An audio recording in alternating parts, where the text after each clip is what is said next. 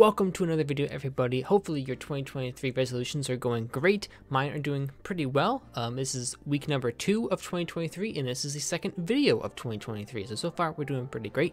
I've also been exercising more, which is really good for my health. Um, but enough with introductions. Today we're learning how to use the data merge tool in Affinity Publisher 2.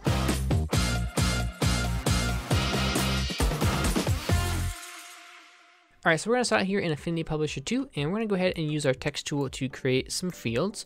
We're gonna start out with the brand of the camera, and then create that. We're gonna create another one called camera, and then we're gonna create one called type, and create another one that says sensor. Now, what we're also going to do is we're also going to go through and do a picture frame here because when you're doing the data merge tool, you can actually use text and pictures. And so now we need to actually go through and get our data. So here we are in Google Sheets and we have a spreadsheet here. Now we're going to be exporting this to a CSV, which is a comma separated values file, and that uses headers at the top in row number one. So we have camera, brand, type, sensor, and picture, which you see here.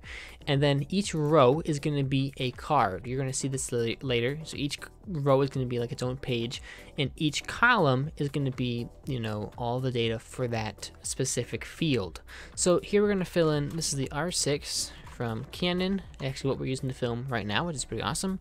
Type, it is a mirrorless, and sensor, it is full frame.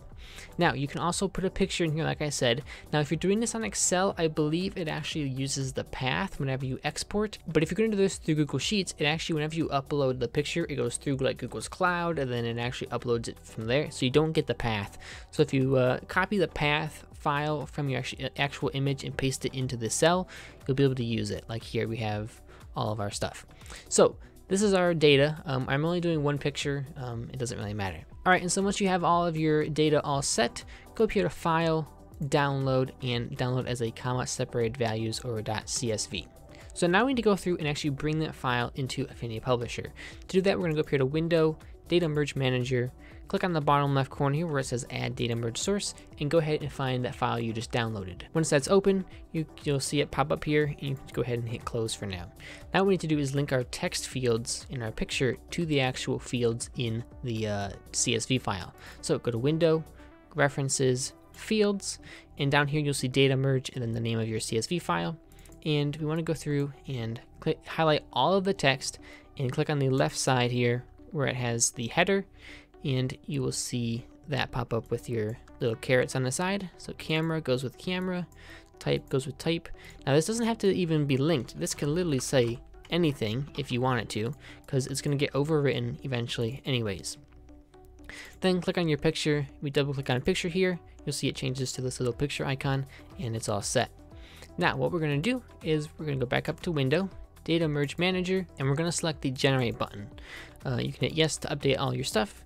Now this is going to go through, you can close this window, this is going to go through and create a new document for you. So your old document is still all intact, it creates a new document for you, and you'll see that every single one has a little page now, right? So we have Canon R6 mirrorless full frame. So each row has its own page and each of the fields follow the columns.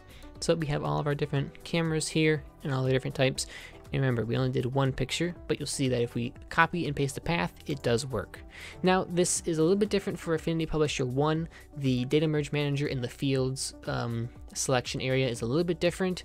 Um, but I can go ahead and post some of that in the in the uh, description for you below, but it's pretty much the same step, it's just moved around a little bit. All right, and that is it for the data merge tool in Affinity Publisher. It's pretty simple and great for like things like business cards, where you have to create a whole bunch of them with a whole bunch of different names, and you probably already have all of the data anyways. So if you learned something and you found it helpful, consider hitting the like button. If you want to see more, hit subscribe, and if you haven't already, check out this video over here for how to use the Quick Grid feature, newly released in Affinity 2.0. It makes mockups so much easier. And that's all I've got for this video, so I'll see you next time. Take care.